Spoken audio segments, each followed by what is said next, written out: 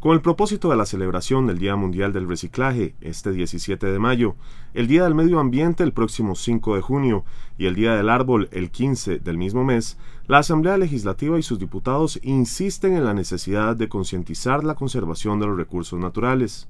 La idea que se promueve está encerrada en el concepto de las cuatro Rs, es decir, rechazar, reducir, reutilizar y reciclar. El diputado José María Villalta Flores Estrada explica estos conceptos. Rechazar, reducir, reciclar.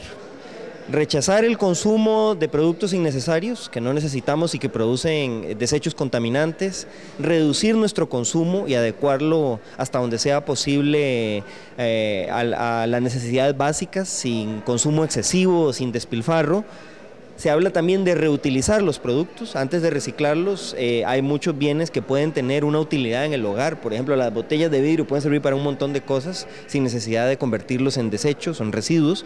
Y, por supuesto, reciclar. Eh, cuando ya uno ha agotado todas las otras acciones, rechazar lo innecesario, reducir el consumo de productos superfluos, eh, reutilizar lo que se pueda reutilizar, viene el reciclaje, que es muy importante también porque es la forma de darle un valor a lo que antes se consideraba como basura o desechos, es darle un valor eh, para que pueda eh, reducirse la contaminación.